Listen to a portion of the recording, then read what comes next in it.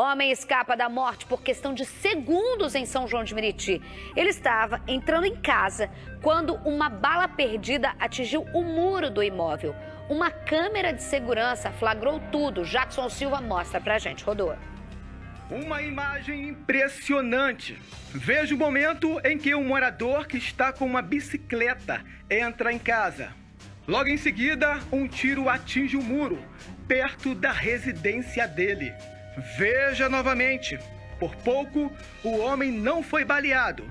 O morador nasceu de novo. O vídeo mostra uma perseguição entre bandidos e policiais militares. Esta outra imagem mostra uma intensa troca de tiros. Pode fuzil. O confronto começou por volta das 8 horas da noite.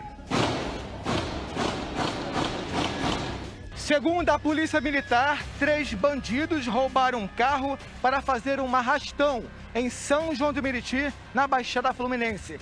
Os PMs que faziam patrulhamento de rotina perceberam a ação dos criminosos. Em meio à troca de tiros, um assaltante morreu.